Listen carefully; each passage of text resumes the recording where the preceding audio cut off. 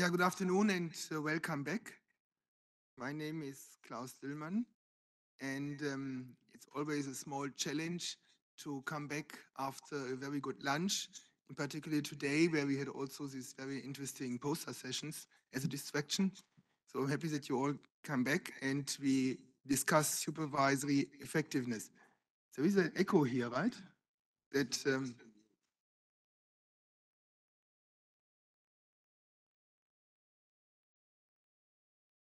I hope this does a trick. Yes, okay. So um, the topic or the common theme of the next three papers is um, supervisory effectiveness, and you may not find the word if you look into the paper. So let me a little bit explain. Uh, when we think about effectiveness, uh, sometimes you distinguish between two dimensions. On the one hand, you have the risk identification and assessment, and another dimension is then more the remediation and enforcement. And I see these three papers more in this uh, first domain of the risk identification and, and assessment. So the first paper by Cedric is looking at SupTech. Then the second paper by Arndt Gerrit is looking at uh, internal model inspections. And the last paper by Joao is more looking at more classic tools like a CAMELS rating. But they have overall a comforting message for the supervisors that supervision uh, has a positive impact. That's good. Uh, what they don't look at, and there maybe also this enforcement dimension would come into play, but I see this as further research, is really, are we, let's say, optimal? Are we as good as we could be? And uh, this I leave as an open question and start with the first paper, which is by, by Cedric uh, from KU Leuven and FWO. And the discussant afterwards is uh, Olivier de Jonghe from NBB and Tilburg.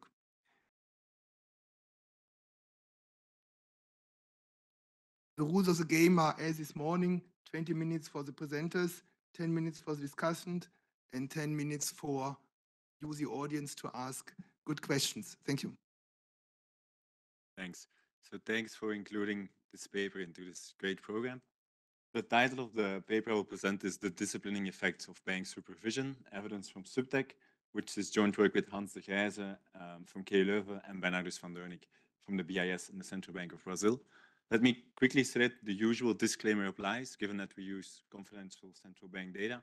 And that being said, let me give some motivation behind this project.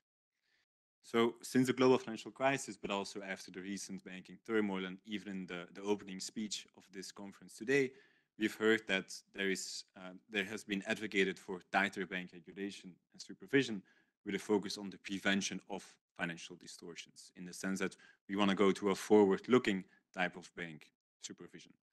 Now, one way that regulators have tried to do so is by adopting supervisory technologies or SupTech, which essentially aim to identify banks where financial distortions are most likely to be found in order to address them before they could materialize and affect the financial system. Now, I'll talk mo much more about the institutional details of these technologies later, but essentially they automatically analyze um, they automatically collect and analyze information from banks' financial statements and so on um, in order to detect early risk exposures, um, leading to more focused uh, and forward-looking bank supervision. Now, despite the use of these technologies by supervisory agencies around the world, there's not much evidence on how the use of SupTech in bank supervision could affect banks' behavior.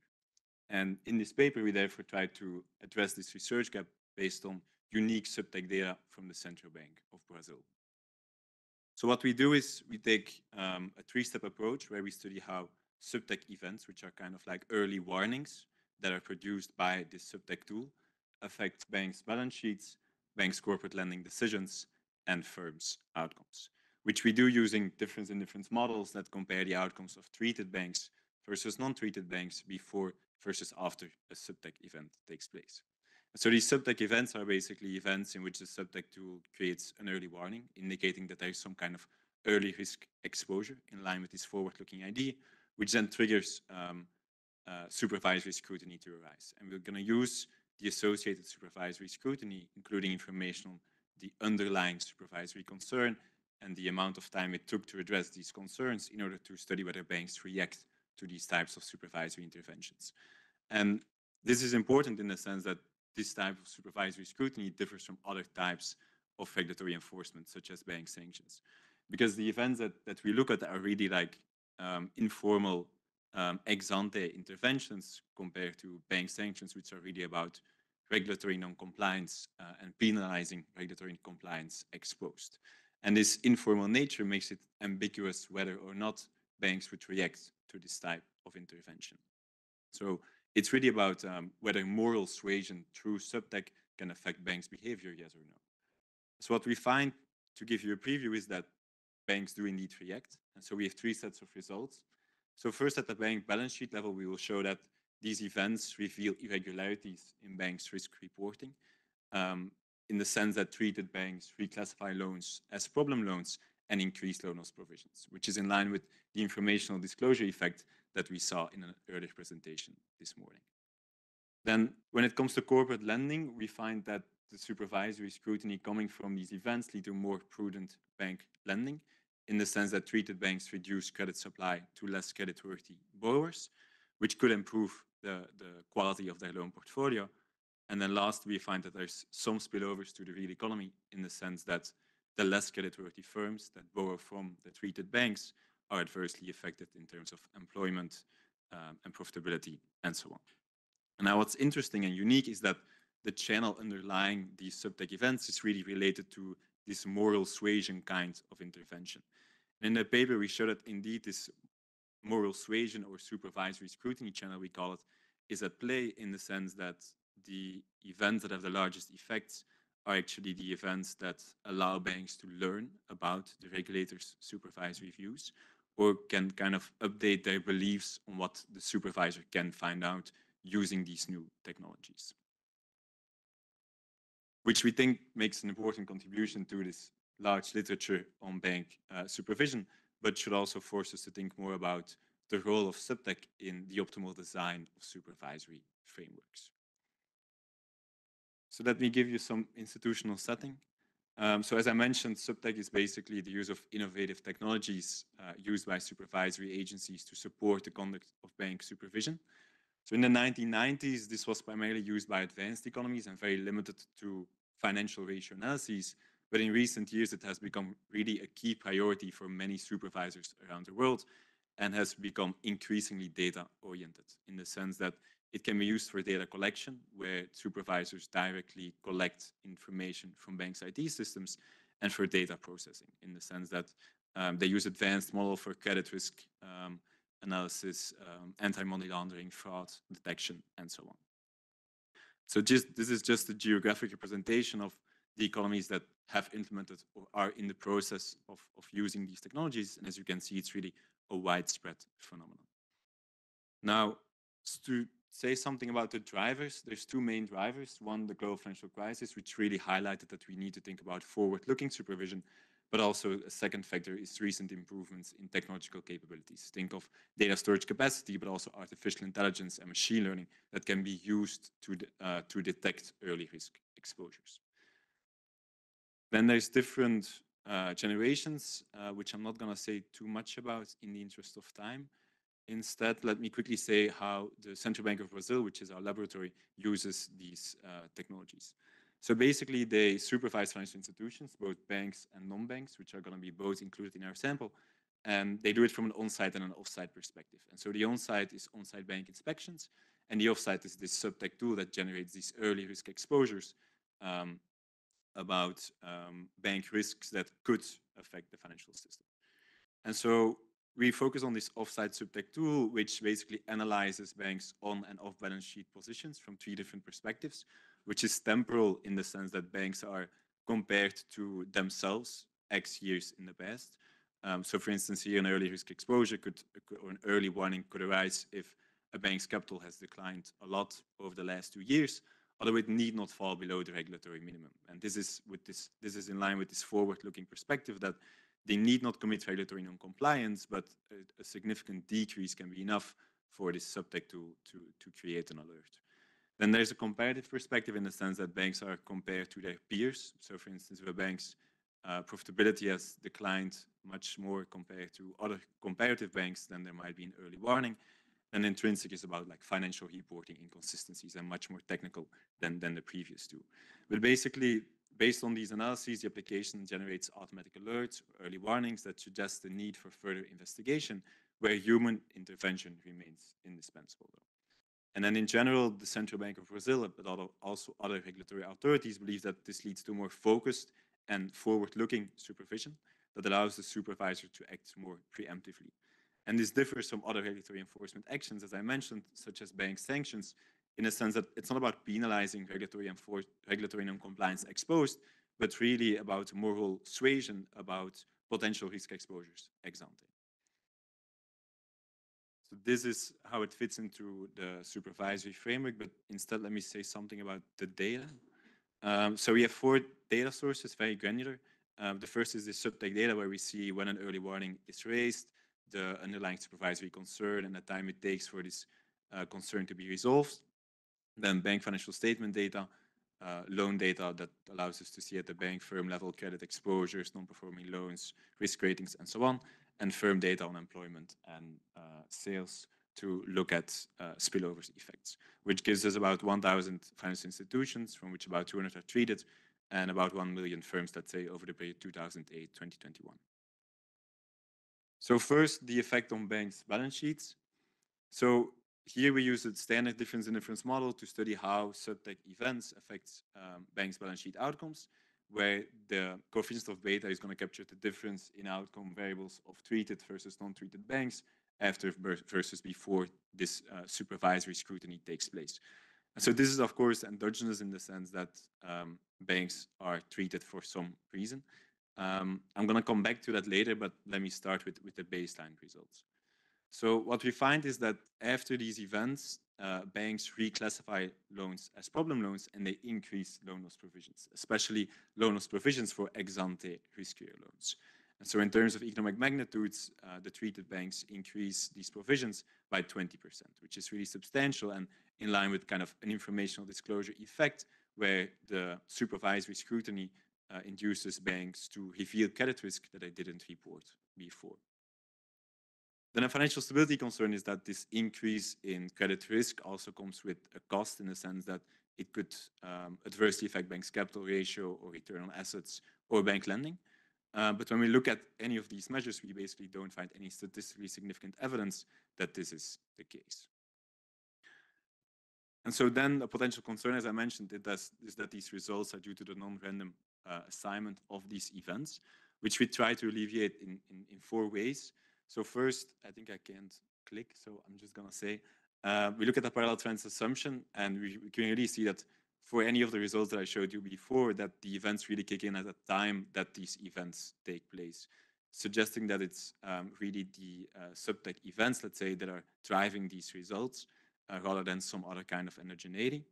Then we do a propensity score matching approach to compare the treated banks to very, very, very similar non-treated banks, and we find that everything holds. We do falsification tests and also conduct uh, an alternative estimator to address this two-way fixed effects concern for the econometricians in the room.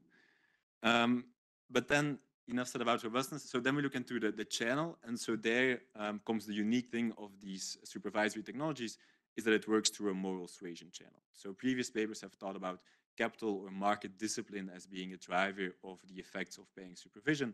But we'll, what we will argue and uh, show in a second is that the results here are driven by the idea that being subject to these technologies changes banks' perception of what regula regulator knows or could reasonably find out, and thereby induces banks to become more prudent when it comes to financial reporting, but also, because, for instance, when it comes to uh, bank lending, as I will show you in a second.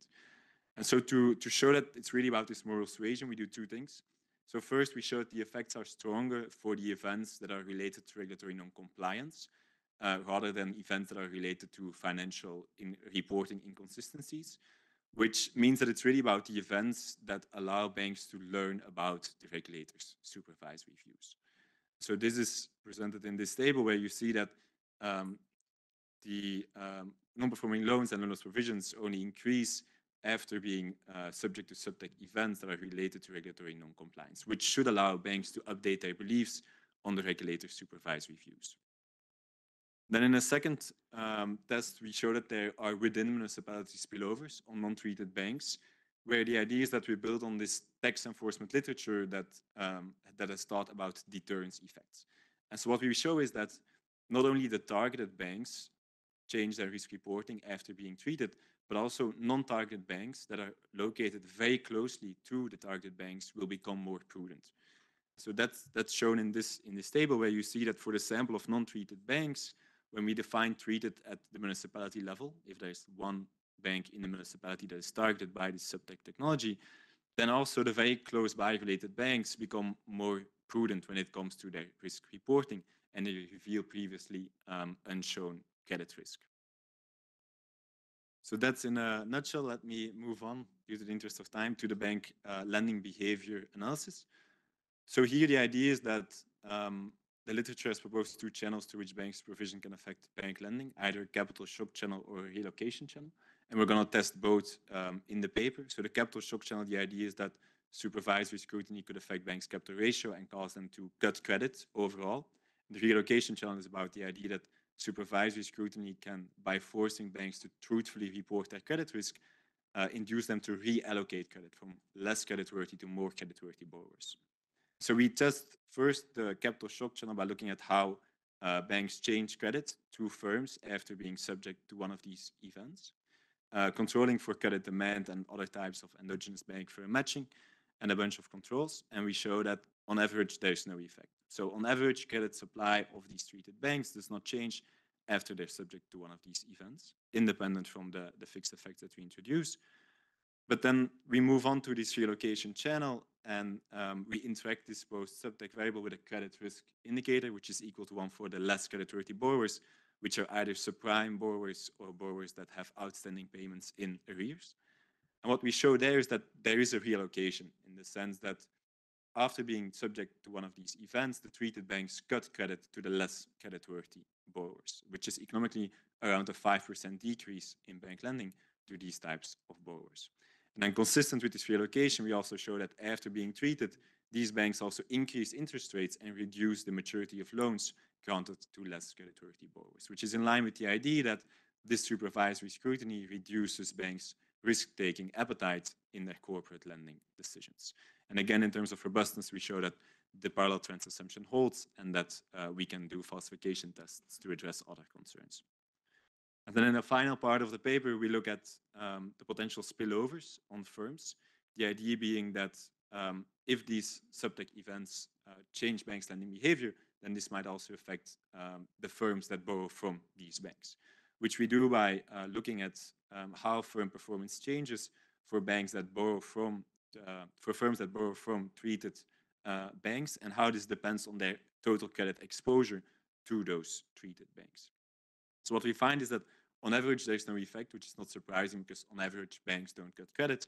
But then for the less credit-worthy one, which we further interact here with this previous arrears and subprime dummy, we find that in the first column, they, they cannot completely compensate the cutting credit from the treated banks, which also has a small effect on their employment revenue and productivity, indicating that by influencing banks' corporate lending decisions, this supervisory scrutiny can have some effect on uh, the firms borrowing from those banks. Which brings me to the conclusion of this paper. So we've seen that over the recent decades, supervisors increasingly rely on SupTech to identify banks where weaknesses are most likely to be found. And we believe that in this paper, we provide novel insights that the, these technologies and the supervisory scrutiny arising from those technologies can help banks uh, to improve their risk reporting and reduce risk taking in bank lending through this moral suasion channel which warrants further research into SupTech, including its role in the optimal design of supervisory frameworks. Thank you.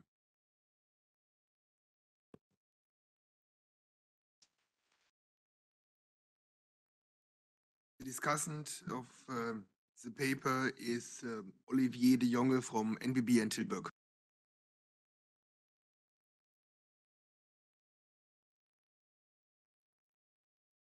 Yes, um, also thank you for inviting me to discuss the paper. Um, so I'm part-time also actually at the ECB, part-time at the NBB.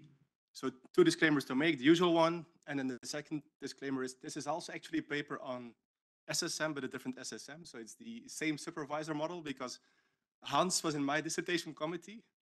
I used to be in with Hans in the dissertation committee of Bernardus. Hans is the supervisor of Cedric, and I'm also supervising Cedric at the National Bank of Belgium. So is there is spillovers, uh, joint supervision. So, but in, in any case, um, I like the paper, not because there's connections, but also because it's just generally a very good paper.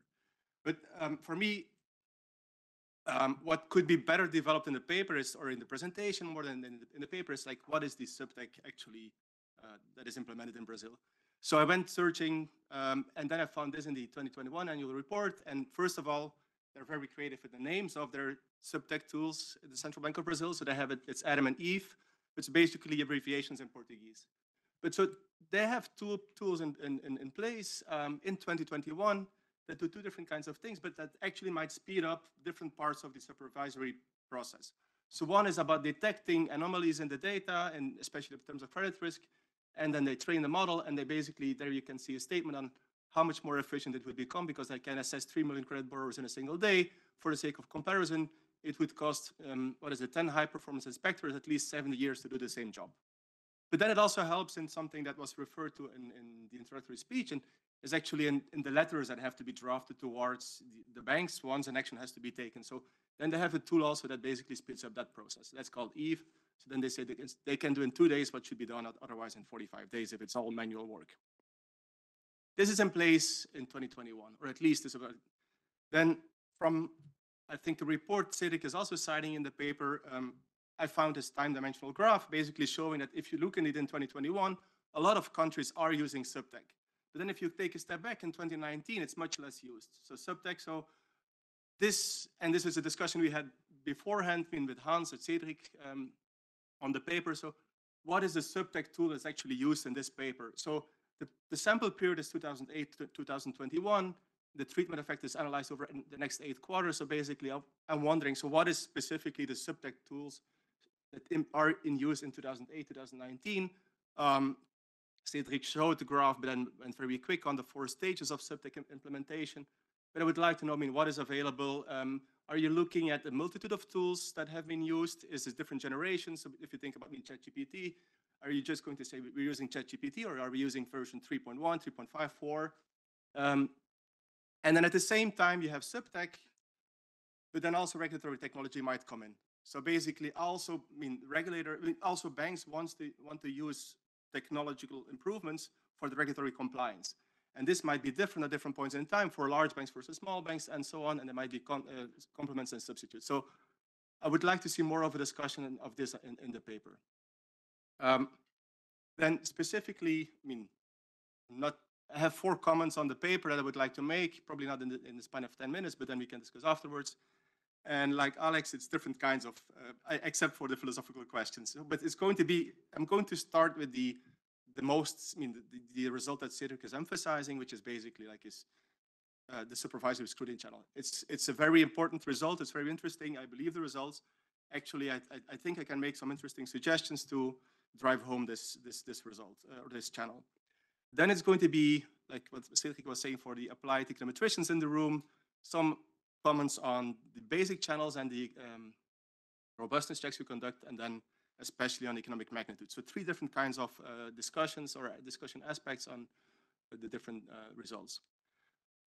So this is the key takeaway for me from the paper. So I mean, they can show what SupTech is doing and they document an important channel. So they show that it's basically because of supervisory scrutiny or this moral suasion channel. So that, and the important, one of the important dimensions they show is that it's not just the treated banks that change their behavior, but also apparently following the treatment, the non-treated banks in the same municipality show effects and basically um, and all kinds and all the, the different dimensions that Cedric shows that the treated banks are also affected. So basically, that's important for a supervisor. So you treat someone, but then it has the same spillovers and may have positive consequences for the uh, stability in a, within a municipality. So if you further want to drive home this result, um, I think you can do at least three different tests, three additional tests. So um, first of all is if this is really the case, then you should see that SupTech events in this municipality would decline over time. If banks already adjust, even if they're not treated, then there is less of a need, or the SupTech tool is not going to capture potential violations anymore in the future. You, sh- you sh- should see basically that the, the likelihood of future um, treatments reduces in this municipality, which is a positive thing to, to- to- uh, it's an easy thing to check, and it's a positive um, repercussion of being, being treated. The second falsification exercise that I think you can do is within this analysis, throw in municipality times time fixed effects, and you would see have to see that the baseline effect decreases in economic magnitude. So the effect on the treated banks on the is not the same as on the banks within the municipality, but so it's, it's smaller in magnitude. So basically, you should, should see if you control for within municipality time fixed effects, you that this uh, this effect should actually, uh, I mean, some sort of attenuation bias should go to, should go to zero. And then I think more importantly, um, what is important, I think here is that it's not necessarily just a moral suasion story, but there could also be learning on the side of the banks. And this depends on how the credit, credit register is uh, constructed. But the idea is basically that banks provide information through the credit, credit register. In return, they can consult the credit register. They can consult this on their existing borrowers, but they can also consult this for borrowers that apply for a loan and they have to check within the credit register what the exposures are of the borrower. So I think what you can do or should do is and check for overlapping borrowers because it's more likely that there will be overlapping borrowers for banks being in the same municipality because lending happens at short distances. So if a treated bank's borrowers have been downgraded, put into arrears, have been in the risk rating changes, the banks within the same municipality that share the borrower might observe this action and are actually taking actions themselves based on the information they get from, from uh, analyzing this, this credit register. So this is not a moral suasion story, it's just learning from, by the banks on uh, the, that a bank has been treated, other bank has been treated, and on that their exposures would also be not as good as they thought um, they would be. So it's more like a spillover of information instead of like the fear of being on the, the watch list of the, of the supervisor.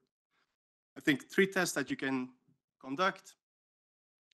Then on the robustness test, so on all the analysis, here I'm wondering whether in this difference and different setup, whether these are actually the tests you want to conduct. Because what you mentioned and emphasized is that what is the reason, what is the SupTech tool in, behind the scenes?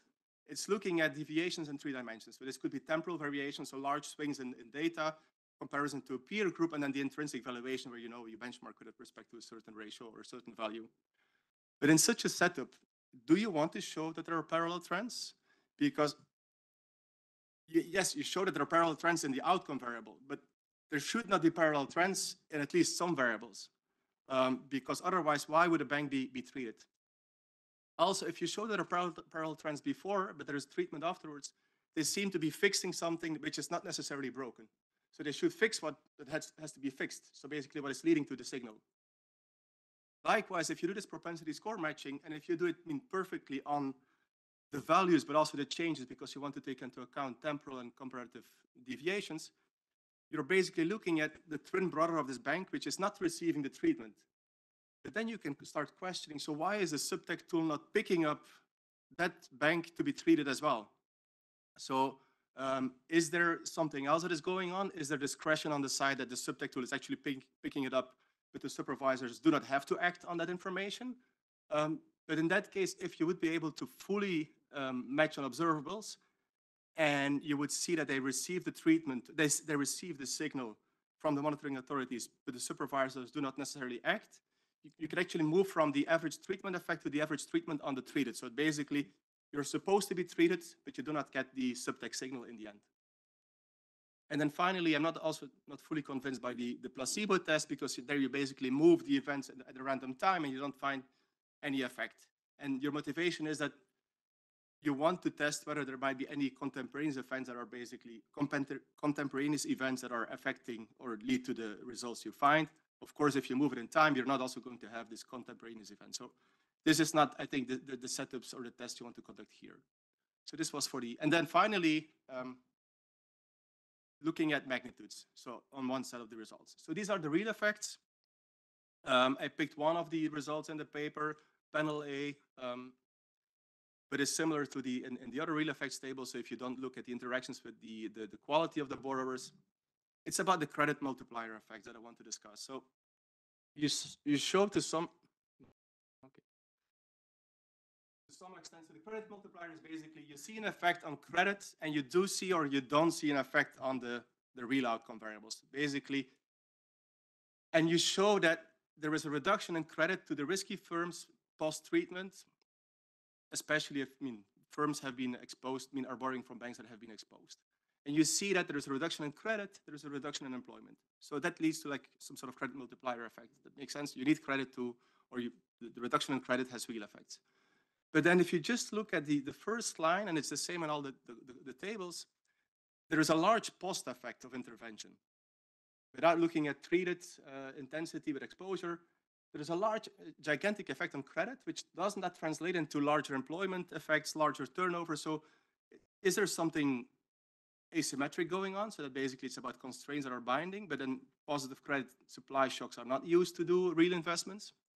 Is it something else? I was just wondering what is going on.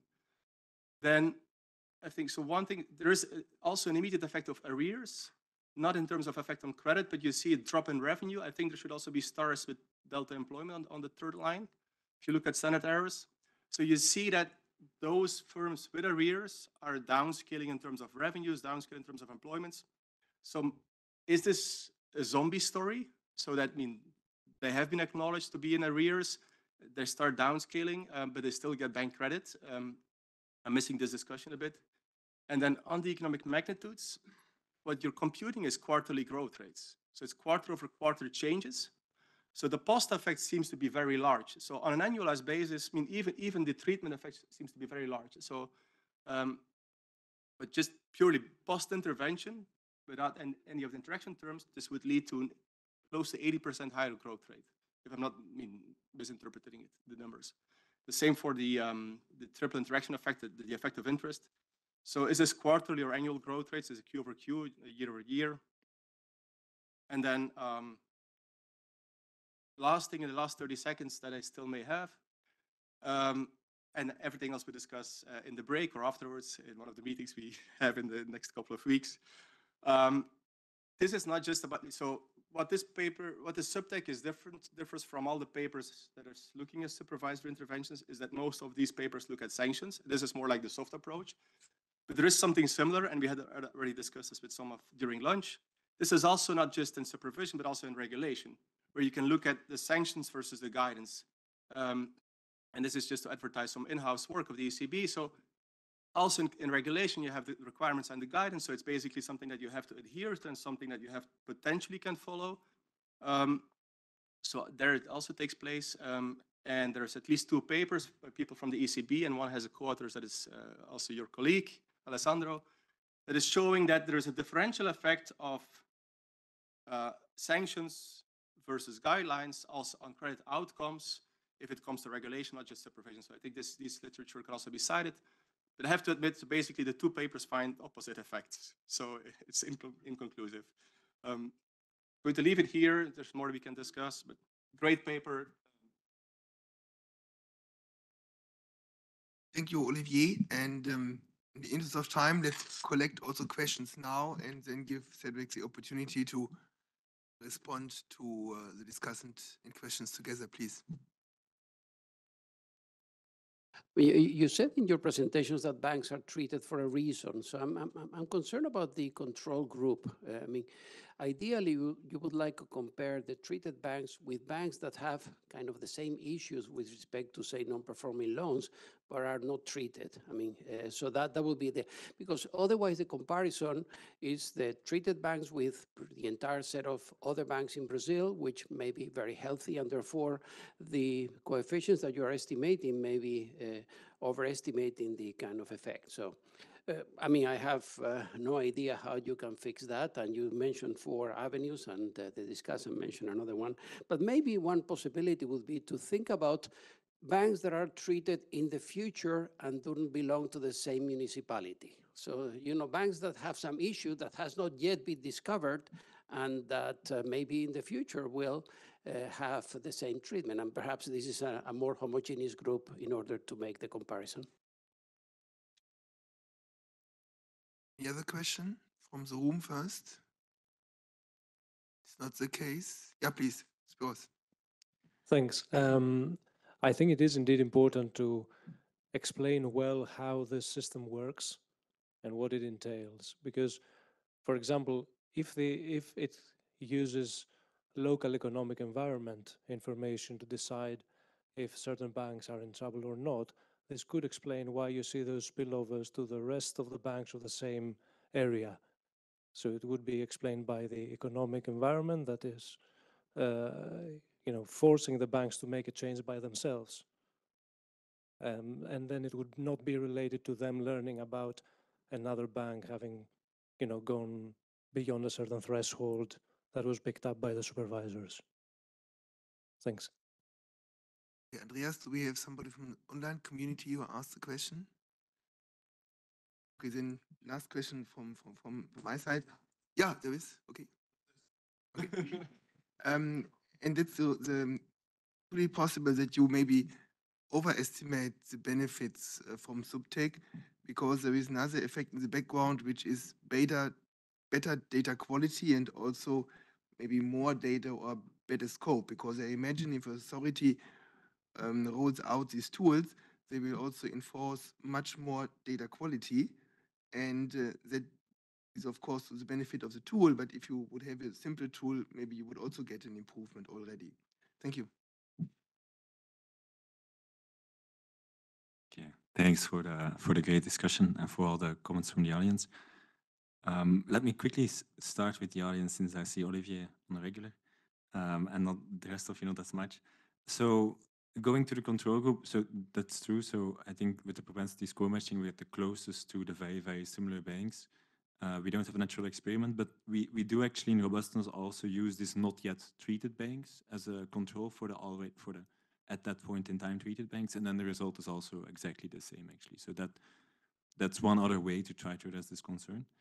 Um, then about the local economic environment, uh, I think it's a good point. So I think one one thing we show is that indeed the non-targeted banks operating in the same municipality, they also increase their risk reporting or improve their risk reporting. Uh, but we don't find that they, they change lending as much, uh, or actually there's no statistically significant effect on their lending. So they do like the marginal thing to kind of satisfy, let's say, or, or address the, the, the new technology that the supervisor can use.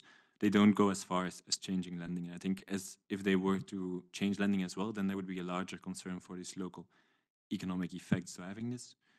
Um, and then when it comes to data quality, so that's true. Um, so there has been one significant change in financial reporting over our sample period, and then we can, so at some point we have um, split the sample over these two subsamples, and then we find that the effect is actually relatively the same. So in that sense, I, I don't think that's completely attributable to a change in data quality or that that plays such such a big role, or at least in, in our setting. Um, I don't know how much time I have left to address other comments. Still time? I think the time is, is more or less up. We Okay. have half a minute, but Okay. you can also give it to the next. Um, It's up to you. So let me quickly say something. Um, so about the supervisory scrutiny channel, so I think that's a good point. So uh, in the baseline, we can't, of course, not include municipality time fixed effects uh, because it will observe like the independent variable of interest because there the treatment is defined at the municipality level. But what we can do is exclude the non-targeted banks in operating in the same municipality, municipality from the control group and only take those operating in other municipalities as controls. And then we actually find that the effect for the target banks increases, which is what you would expect because the control becomes cleaner and there's no noise from the other banks that are also changing their behavior. Then overlapping borrowers is something we can try. Um, I mean, there, there's a lot of mechanisms through which this learning can occur, including overlapping board members, overlapping supervisors, employees, and so on. But I think it's a good suggestion that we can try to look whether they can learn by observing the lending of other banks that are treated. And then the parallel trends, I think it makes sense that there's parallel trends in the sense that most of the analysis is about credit, and there's actually very few signals about credit. So may, most of these SupTech events are related to other things such as uh, Basel regulation or capital or liquidity and so on.